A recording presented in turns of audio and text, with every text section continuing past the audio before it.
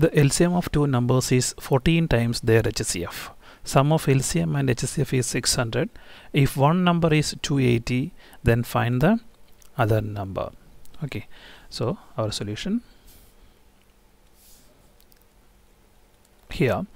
Let us assume uh, or uh, what you say HCF is equal to because it 14 times the HCF, HCF is given. So we'll assume HCF is equal to HCF is equal to say X.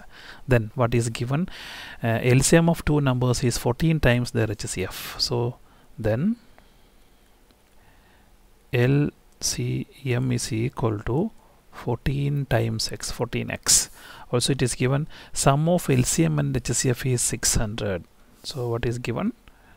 It is given LCM plus HCF is equal to 600 that is 14x plus x is equal to 600 15x is equal to 600 which gives x is equal to 600 by 15 which is equal to say 14 so HCF of our given set of number is 40 okay? Then what is given uh, uh, one number is given as HCF okay so uh, we can proceed to find the LCM also.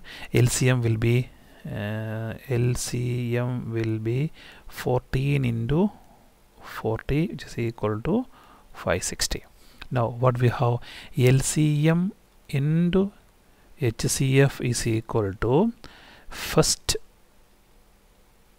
number into second number. That is 40 into 560 is equal to HCF is 40 sorry first number is 280 into say y.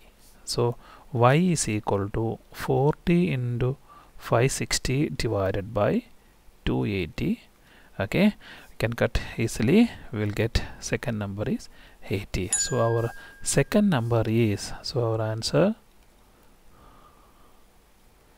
second number is equal to 80